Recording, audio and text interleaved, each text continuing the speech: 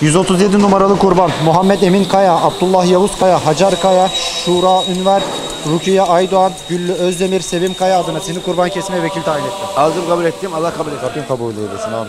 Allah Bismillahirrahmanirrahim. Allahu Ekber. Rabbim kabul eylesin.